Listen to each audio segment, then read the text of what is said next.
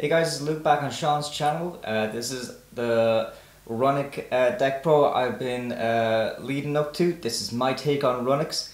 Uh, this is the deck that I take to locals, the deck I play online a lot. Just my take on Runick. It's not the conventional way to play them, but I'm going to showcase uh, my ideas behind the deck. I'll be showcasing the main deck, the uh, X deck, and also the side deck I take to locals as well. So yeah, let's not beat around the bush, let's just get into it. Okay, we're in Kashtira format because, you know, that deck is just cracked as fuck, so we need to find a way to sort of combat that. So of course, uh, three copies of Nibiru in the main deck I feel is just really important, especially with this format, just because Kashtira is just dominating so fucking much right now. Uh, that Nibiru is kind of like one of the perfect counters uh, just to handle it, because uh, they can go get through a lot of uh, negates if you like main deck Ash or Ghost or whatever or Effect Veiler. Uh, imperm doesn't matter because Kashtira can still play through them because it's just one small interrupt. However, uh, going with Nibiru, the fact that it like completely wipes the field on uh, their uh, end of main, I feel is a really good way to sort of combat the deck. And also, Nibiru is very good against all other decks in the format. So Nibiru running at three in the main deck is definitely no harm whatsoever. Last of the monsters, of course, we're playing Runick, so we don't play that many monsters at all. We also run Lava Golem. Lava Golem is very, very good. Uh, it goes hand in hand with the Messenger Peace we run in this deck. Uh, Lava Golem, you special summon to your opponent's side of the field by tri uh, tributing two of their monsters, and then uh, during each of their standby phases, uh, the controlled card takes 1000 damage. So Lava Golem is a good way to sort of get rid of two problematic monsters your opponent may have and just keep this guy on their side of the field for them to take damage and in 8 turns you win. That's one of the win cons of this deck which I feel is very very good. Uh, be very careful when you're bringing out Lava Golem because sometimes either if you don't have a way to fend off against it or even a way to destroy it. Lava Golem is still a big boy with 3000 attack so make sure your opponent doesn't use it to uh, their advantage too much. But yeah, Tree Lava Golem in the main deck. This can be sided out depending on uh, what the matchup is, but we'll kind of get into that a little bit more later. But I think uh, those are the essential monsters you want in the main deck. We're not running too many uh, hand traps because uh, with Runick Fountain up, all of your Runick uh, cards uh, can be activated during your opponent's turn, so uh, that's that's pretty much the extent of all the monsters you're going to see in this main deck right here. We'll talk about the good variants in the side deck a little bit later. Now, Runick Fountain Of course, we run three copies of this. I see a lot of people, no matter what the profile, if it's uh, Runick, if it's uh, well, not pure Runick, it's Naturia Runick, if it's Sky Striker Runick, a lot of them just run Runick Fountain at 2, but just judging on this build, Runick Fountain needs to be at 3. So you can activate Runick Quick Play spell cards from your hand while uh, during your opponent's turn while Runick Fountain is face up on the field. And then once per turn, if you activate a Runick Quick Play spell card, you can target up to 3 Runick Quick Play spells in your graveyard, uh, place them at the bottom of your deck in any order, then draw the same number of cards. So up to 3, so drawing 3 is just fucking amazing. Uh, just give a quick example of how this card works. Let's just say Runick Fountain is up on the field.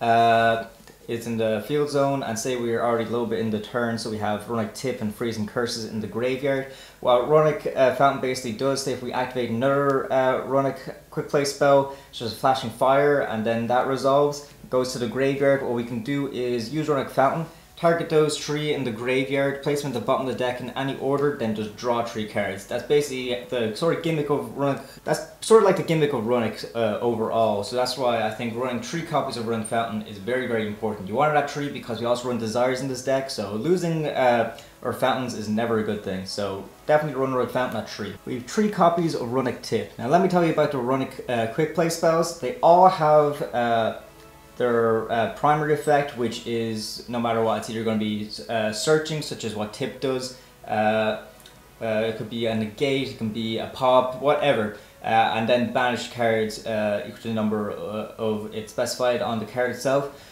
One thing I will say, just so I'm not repeat myself over and over again, is all the Runick Quick Play spells have the effect that you can actually just special summon a Runick monster from your extra deck to the extra monster zone. So that's what every single one of them do. So you can uh, bring out uh, either your like any of your uh, uh rank monsters from the extra deck, such as like Hugin or whatever, who uh, in themselves have very powerful effects. So just keep that in mind. Every single one of these uh, Runick Quick Play spells can bring out a Runick monster from the extra deck. so I'm just going to be going over what each runick card's primary effect is uh, as we go on. But please keep in mind that uh, the effect I'm specifying is not their uh, only effect. So Runick Tip is a searcher. You can add one Runick card from your deck to your hand, except Runick Tip, then banish the top card of your opponent's deck. Another thing, uh, as you probably already know since you're watching this video, is that Runick's, like, one of their main win conditions is just milling your opponent out. So uh, when you resolve all of their primary effects of the quick play spells, uh, you mill uh, your opponent for a certain amount of cards to try and deck them out as quickly as possible. We run three copies of Freezing Curses. Freezing Curses uh, is target one effect monster opponent controls, negates effects until the end of this turn, then banish top three cards of your opponent's deck. Trio Flashing Fire. Flashing Fire is you can target one special summon monster your opponent controls, destroy it, then banish top two cards of your opponent's deck. Runick Slumber. What this card does is you can target one face-up monster in the field. The next time that monster will be destroyed a battle or card effect, it is not destroyed. Also, it cannot attack this turn. And then uh, when that resolves, you can banish top three cards of your opponent's deck. My favorite, Runick uh, Destruction. Uh, it's uh, target one spell slash trap your opponent controls, destroy it, then you can banish top four cards of your opponent's deck. I love this card a lot because, it, of course, it banishes top four cards, which is just a lot to get through of your opponent's deck. But also the fact that it doesn't necessarily need to be a set spell or trap, like uh, some other cards like Jamming Waves might lock you into. Uh, it can just be any uh, spell slash trap. So you can actually chain this to stuff like Branded Fusion or whatever. Any spell your uh, opponent activates, just chain uh, Runick Destruction to mill them out. It's really good if they're activating a Searcher, especially later in the game when they're kind of like low on uh, uh, resources in their deck.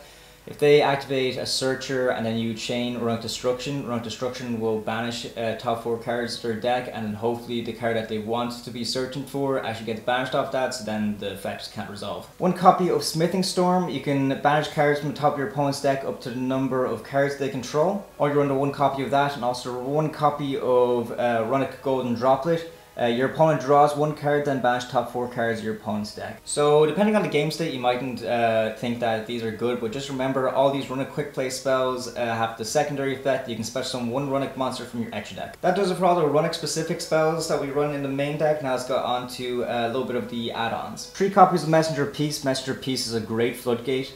Uh, Messenger Peace uh, says that monster with 1500 or more attack cannot declare an attack. Then once per turn during your standby phase, pay 100 life points or destroy this card, which isn't a mandatory cost. You can just pay 100 life points or you can choose not to. Messenger Peace comes in clutch as well when you uh, have Lava Golem on your opponent's side of the field, so they can't attack with Lava Golem, and then there's being burned uh, by a thousand uh, for each of their standby phases. Getting into the draw power of this deck, uh, I know a lot of people in like the the pure builds they use uh, probably like two dualities, two desires, and one card demise. But I kind of cut it down. I feel like uh, this deck is very consistent in itself. So I only run two copies of Pot of Desires. Uh, it's a limited card anyway, so we only we can only run it at two.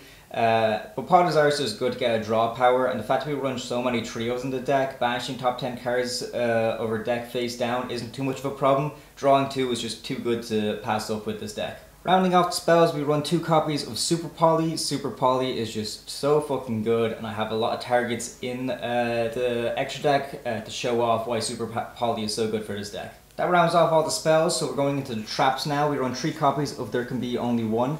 Uh, this can be sided out depending on the matchup. I know There Can Be Only One isn't amazing against stuff like Branded or whatever, but uh, it's still really, really good uh, because each player can only control one monster of each type and if a player controls two or more monsters of the same type, they must send uh, to the graveyard uh, one of those monsters they control, only one of that monster type. So this can be very devastating depending on what your opponent's playing. It's good against a lot of decks, but uh, please keep in mind, depending on the matchup, this might need to be sided out. I run two copies of Solemn Strike. Solemn Strike is just very good because it's a counter trap, uh, so unless your opponent has a counter trap, they can't counter this.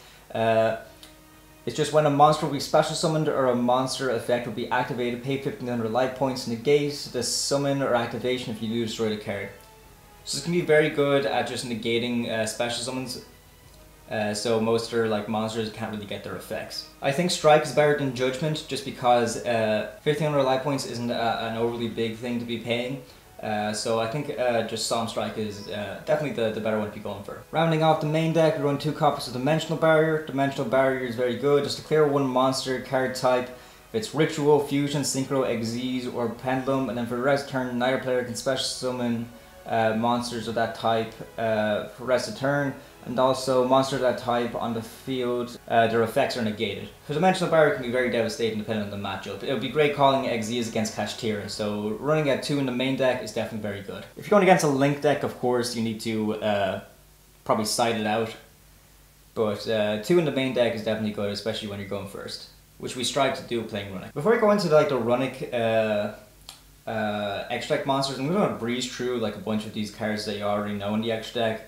One copy of Phoenix, one copy of Unicorn, one copy of Cerberus. Uh, for discarding a card, this is pop a spell trap. This is shuffle one card uh, on the deck into the field. Uh, shuffle one card in the field into the deck, and then Cerberus is just target one special summon monster and destroy it.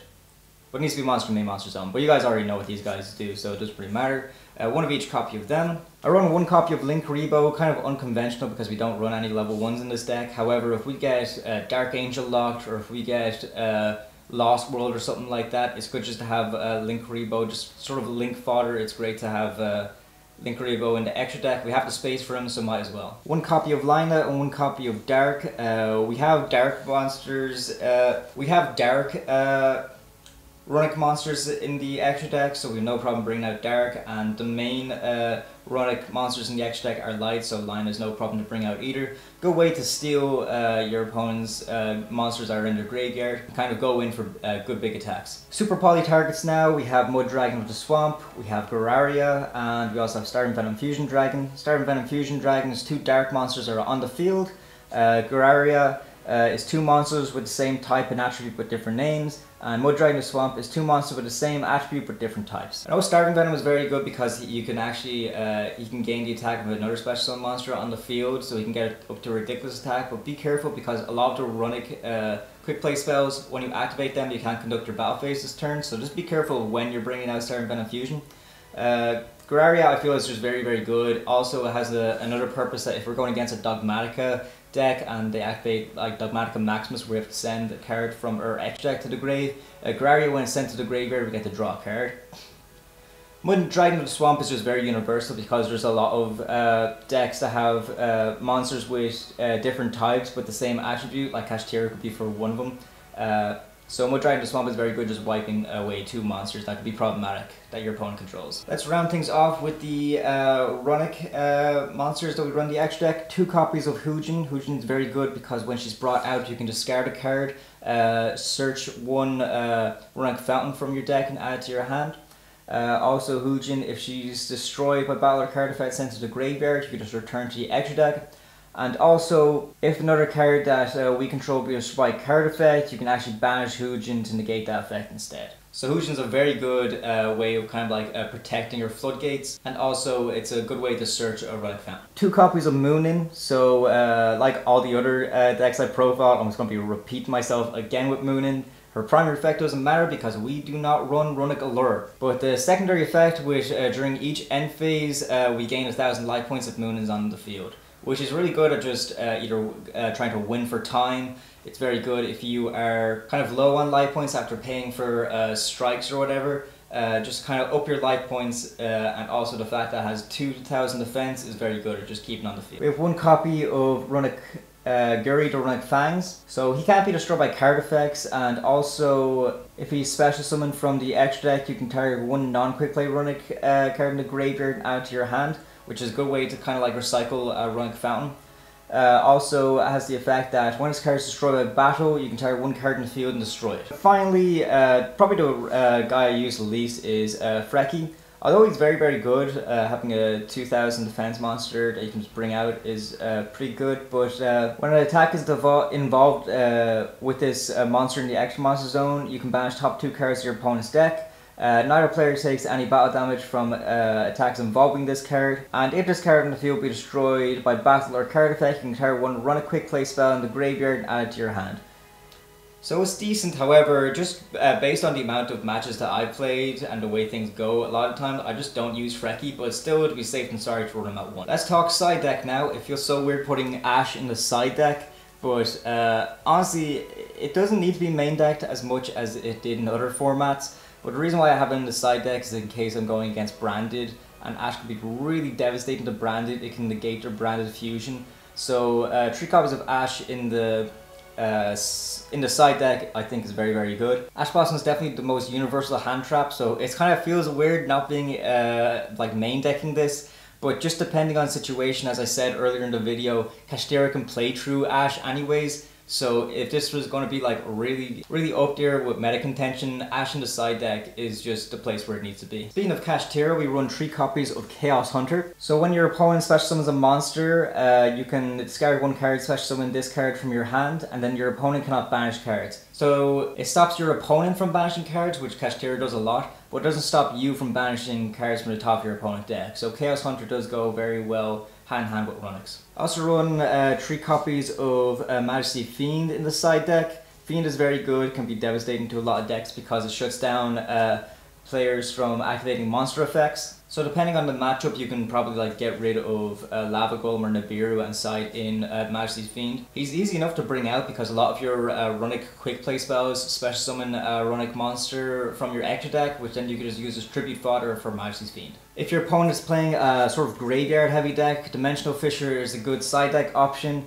Uh, it's just a continuous spell that any monster sent to the graveyard is banished instead. Now, you guys know my relationship with the deck Labrynths. I'm not good at playing against them, so three copies of Royal Decree in the side uh, I feel is very good because it shuts down Labrynths altogether. Just negate all other trap effects on the field when you flip up Royal Decree. Not necessarily essential, but I just play against so many Labrynth uh, decks now that I feel like Royal Decree is definitely uh, a very good contender for a side option. So I 100% recommend playing in the side. So that about does it for the profile. Please let me know what you think. Uh, there's so many other ways to play Runick. I've uh, profiled uh, two other ways, just Runick Pure and Sky Striker Runick on the channel already. So feel free to check those out. I might do, there's a few other uh, run variations that interest me a lot, so I might actually uh, see if I can build and profile them as well.